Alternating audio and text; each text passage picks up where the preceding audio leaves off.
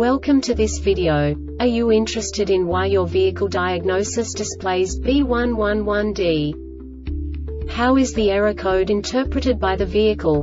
What does B111D mean, or how to correct this fault? Today we will find answers to these questions together. Let's do this. First, let's look at the history of diagnostic fault code composition according to the OBD2 protocol, which is unified for all automakers since 2000. We divide the electric system of automobile into the four basic units. Powertrain, body, chassis, network. This distribution is defined in the first character code. If the second character is expressed as zero, it is a standardized error. In the case of numbers 1, 2, 3 it is a more prestigious expression of the car-specific error. The third character specifies a subset of errors. The distribution shown is valid only for the standardized DTC code. Only the last two characters define the specific fault of the group. Let's not forget that such a division is valid only if the other character code is expressed by the number 0.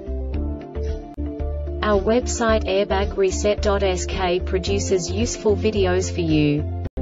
You do not have to go through the OBD2 protocol anymore to know how to troubleshoot any car breakdown. You will find all the diagnostic codes that can be diagnosed in a Infiniti vehicles. Also many other useful things.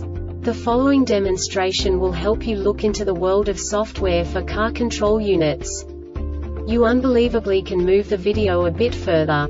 The error code is split into two bytes consisting of 16 bits. One bit is the basic unit that each computer works with. The bit has two logical states. 0, low level, 1, high level. By combining the first two bits, the basic character of the error code is expressed. The next two beats again determine the second character. The last beat styles of the first byte define the third character of the code.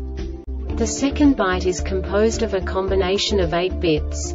The first 4 bits determine the fourth character of the code.